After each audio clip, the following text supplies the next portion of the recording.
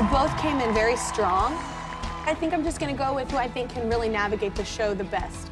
The winner of this battle is Tayler. Tayler Green, congratulations. What do you mean I'm sorry by the way? I'm never going back now. I'm proud of you for pushing yourselves. The tough spot that I'm in now is that I've got to let one of you go home. The winner of this battle is Jacob. Jacob, congratulations, you're moving on to the knockouts.